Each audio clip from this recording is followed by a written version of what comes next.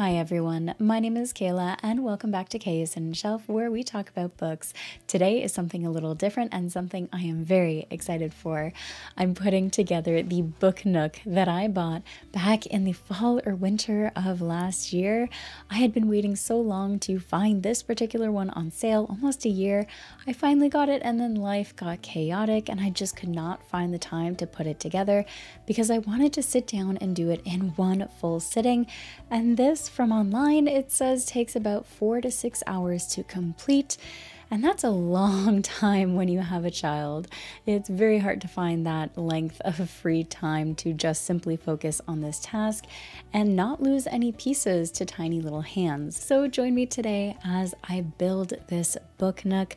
I am so excited. I have the perfect spot that I've been saving for it on my bookshelf, but I'm mostly kind of nervous if I'm honest. I've never done a wooden puzzle because that's kind of what it seems like, and I've never made a book nook before. All of the parts look quite delicate, and I am worried I might break something in the process of trying to build this. And maybe that's just what the experience is supposed to be like.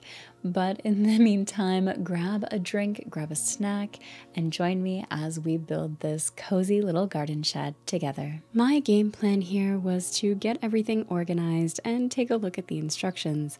Having never done this before, I wasn't quite sure what I was in for.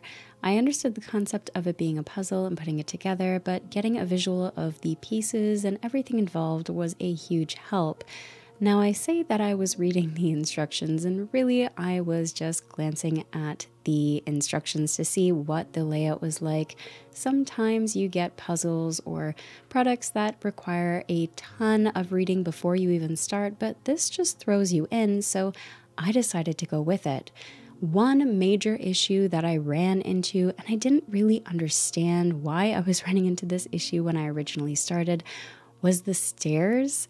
The stairs were just not lining up properly with the foundation that was set, as you can see here. When I got the individual steps in place, they weren't staying, they were moving around, and they weren't sitting flush with the outside wall. And I really couldn't understand why. I figured I would just keep going and it would just work itself out. And at the end of the day, maybe I would just have a unique build, or if I was making a mistake, then it would become apparent later on. But what I realized is actually the base had the holes to place that foundation in the wrong spot. So it looks like it might have been a manufacturing error, but like I said, I worked around it and it turned out okay in the end. It does have a gap, between that sidewall and the stairs, but really I'm not going to be seeing that in the end product because there are a ton of other accessories and decorations that will be going in front. Something that was really surprising was the glue. I really didn't expect the glue to hold everything together as quickly and strongly as it does. The instructions just say it's regular glue, but I beg to differ because I have yet to see regular glue do that so efficiently. This part was really fun. I love being able to put in all the different little plants. I love house plants. I actually took a horticulture course back in the day, if I were to say it that way. But it is something that I've loved, and being able to build a garden house with all these little paper plants was just a delight. The scene into the back of this garden house is also beautiful. It just takes you further into what I assume would be an even bigger garden house, and it just adds a bunch of atmosphere. And here we're just putting together all of the frames and decorations that will be the back wall of this garden house.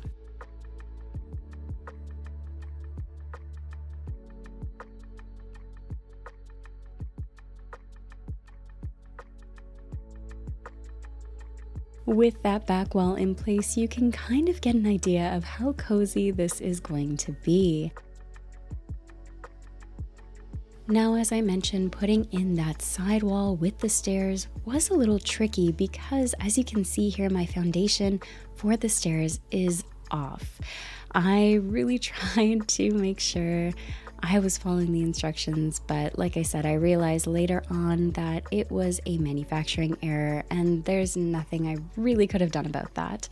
At the end of the day, it still looks pretty good, except if you were to shake this poor little book nook, those stairs would probably come flying right out. And because those stairs are loose and they're not tucked in the way they should be, you can see I've had to fix them a few times throughout this project. This is the one of the first times that I had to fix them. And the stair railing just did not sit in right as a result. Again, I'm not going to be seeing that on the day to day, but just a good note if you are going to make this kind of thing, if something isn't going quite the way you're expecting or by the instructions, it might not just be you, and there could be something else going on. Don't get frustrated, just work through the process, and that was my motto here. As I was working with these flimsy stairs and trying not to break it as I was putting in everything else was tricky, but just moving forward and working on every little step was a huge help keeping my focus away from those stairs and just being okay with the way they were. Now, here I am building the desk or drawer system, which is, I imagine, hosting a plethora of different seeds. It's really cute when you get it in, you'll see in a moment here, but putting it together was tricky because while these pieces are made out of wood, they are not always going to work perfectly, and you do need to be careful about the amount of pressure you're putting on them. But if you don't put enough pressure, you will not get the piece in and contrarily, if you push too hard, you will break them. This was a good example of it.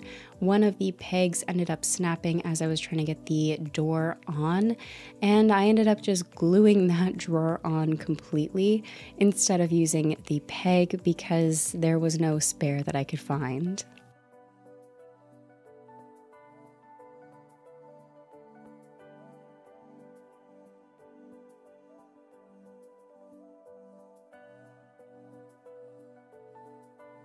For me, one of the things that makes this so cozy is all of the small details. Yes, there are a ton of tiny pieces, but the little additions of the flowers, the plants, all in around the space on dressers, on drawers, on on carts, all of that makes a huge difference in atmosphere for me and just adds that cozy lived in feeling, which is why I loved this garden nook when I found it online. The other bonus is being able to put together tiny, tiny little books. And that's what you're seeing here. I am trying to put together little tiny books to go on a trellis or a small little shelf that will end up going in this garden house as well.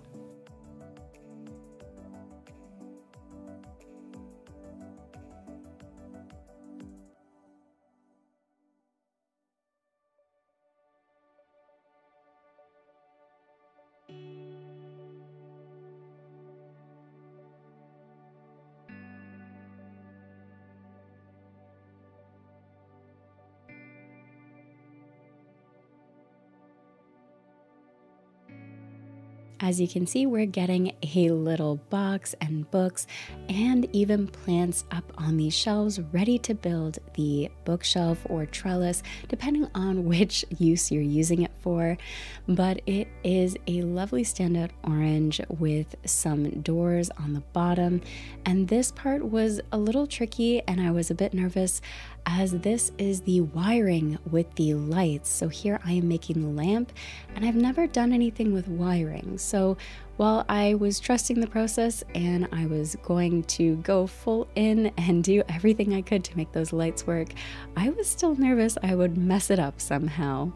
Luckily, I ended up managing it well enough, but there were a lot of small pieces here to be mindful of with the lights and getting it all together as it mixes in some rubber metal pieces as well as the correct light because there are two separate lights in this nook.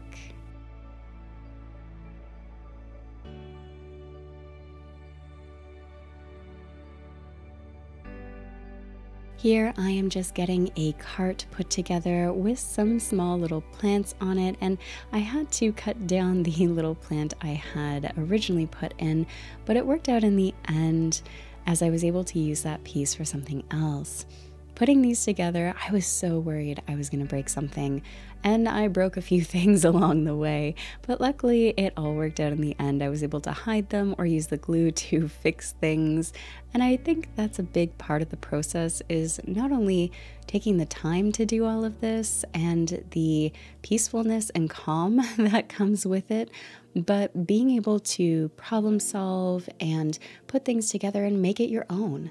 That is a huge part of why I really enjoyed this is that even if it's not perfect the way it should be, it's mine and it has a bit of character and personality to it.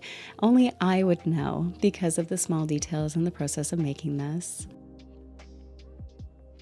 Now, this part was so much fun getting the chair together.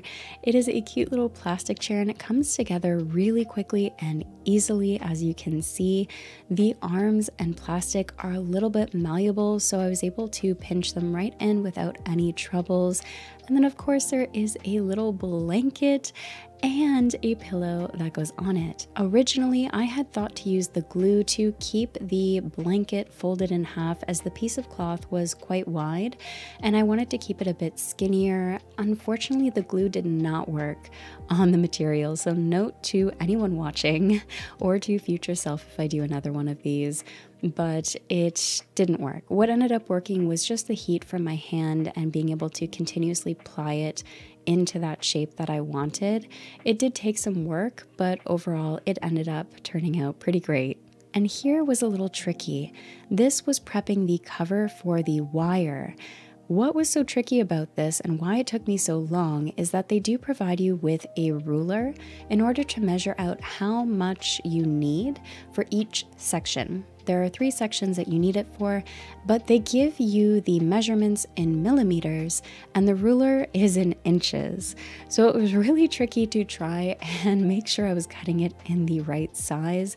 In the end, I needed to swap out and cut an extra piece, but they do give you plenty of extra just in case. You can see the ceiling here that I am working on, threading that wire through for the light that will hang from the ceiling, and those plastic pieces will or should cover the coloring of the wire, which is red and black, and make it blend in a little bit more. Now, getting the ceiling together was actually really exciting because I started to dig into the pieces that were clear plastic that would eventually make the glass or see through parts of the Nook, and for me, that was so exciting. I also started digging into the lilacs, or what I believe are wisteria, actually, going through the ceiling. These are beautiful purple flowers with vines, and getting them to hang down from the ceiling was just a milestone I absolutely loved because it meant that I, for me, I was at the halfway mark in terms of getting things completed or a little bit more than halfway. The flowers are what make it for me, adding such a beautiful touch to a garden house. It likely helps that wisteria flowers are some of my favorites, so having this added detail in a garden house was just a beautiful bonus.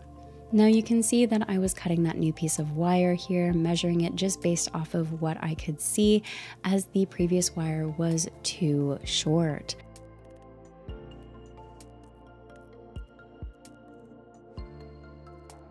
One of the cuter details in this was also the red boots with a little plant growing out of it.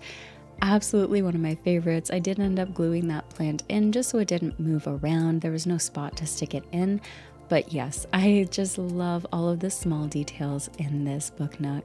Another fun detail about this book nook is it actually has a window that opens and closes. That's what I'm working on here. It's just a small detail, and I know with it being on a bookshelf, you might not have it open all the time, but you can move it around in your shelf in a way that it has more room so you can open it if you want that extra detail.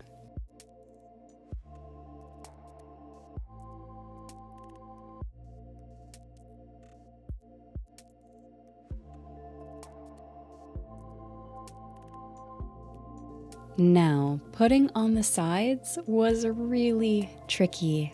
like I had mentioned before, those stairs were not secured. And at this point, it was getting harder to get my hand in those small little spots to fix things. I ended up having to use the end of a screwdriver just to put things back to where they belonged when they shifted around.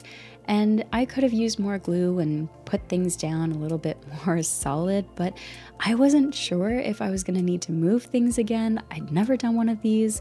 And the stairs, at this point, I still wasn't sure if it was a me problem or a product problem. So I was just trying to be as careful as possible, and pushing the sides into the book nook was not easy. I sometimes found myself needing to sand down the connectors just a little bit as the pieces were too big to fit into the hole that it was meant to go into, making it even harder to squeeze in these sides. But putting in the fake glass or the plastic was so much fun. Putting the roof and the front on was actually pretty easy, all things considered. I did try to be more careful with the front as there is a touch area for the button to turn on the lights, and I really did not want to crack or break that in any way possible. So I was very careful with the front,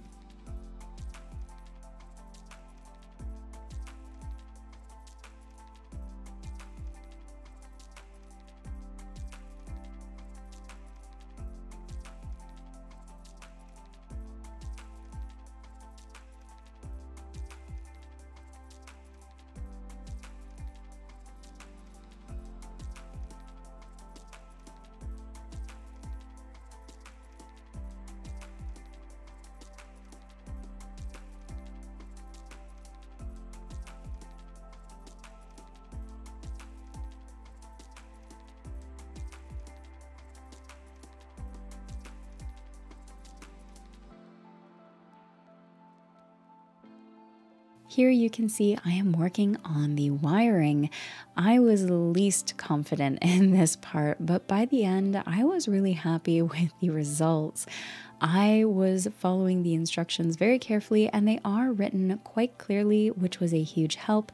And they do pre strip the wires for you, leaving the casing on the end of the wires so they're not damaged and just ready for you to take off when you need to. So I didn't have to worry about stripping wires, just clicking all of the pieces in place and connecting the wires once I was ready. Again, the instructions were really clear and they also include pegs for you to click in the bottom and keep those wires nice and clean, which also prevents them from catching on anything when you are moving it around. After this, it was just a few simple steps to completion. And here it is. I'm thrilled with how it turned out. All of the small details come together to create such a cozy little book nook, and that's exactly what I wanted. The lighting is beautiful and adds a lovely tone to it, and even though things didn't always work out exactly the way I'd hoped, like those stairs, it just adds character, and I still love it it is still unique and makes it my own. As you can see, the lights do work. I was thrilled with that. And this little garden gnome has a new home. Again, that window is just a wonderful detail. I really think this was well thought through, easy to follow, and I would recommend trying this if you are interested. I may consider doing another one if I can find one I really love. What do you think about this book nook? Would you try this? Leave your comments down below. I always love hearing from you. As always, thank you for watching and take care of yourself.